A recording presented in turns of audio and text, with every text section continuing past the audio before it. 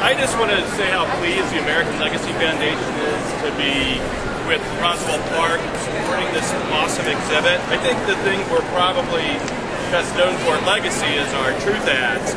And about, I'd say three years ago, we ran an ad campaign called Crazy World.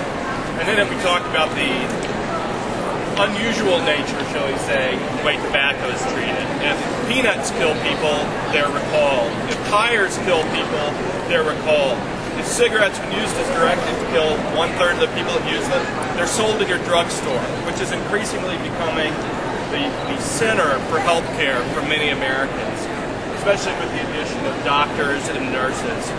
Um, this just brings to light the real hypocrisy of, of that position. And I, I, uh, I join all of you in encouraging the chain drugstores to really examine what they're doing and what it means for their customers. And if, if they take the right move, they, they'll find, I think, ultimately that it doesn't cost them the dollars. So let's hope that they learn that. Let's hope that exhibits like this bring some real change. And thank you so much for letting us participate. Thank you. One more, one more ceremony.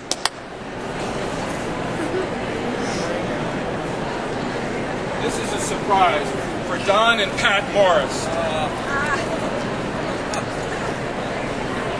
Don and Pat Morris epitomize everything that health advocates should stand for. Few tobacco control advocates have devoted as much of their own time and energy to fighting for a smoke-free society, and few have made as much of an impact in such a large geographic area as Arizona. Indeed, they've set a national example for effective crusading.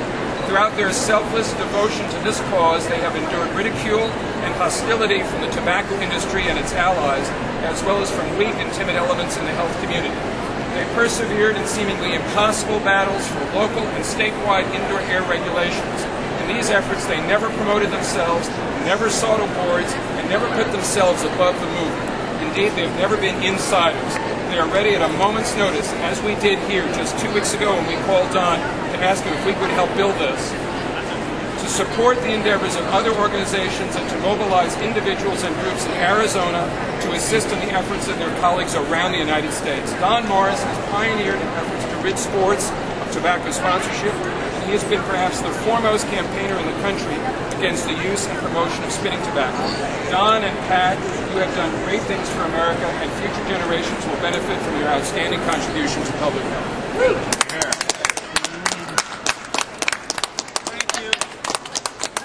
Thank you, thank you, and thank you. And that just three words is all I can say.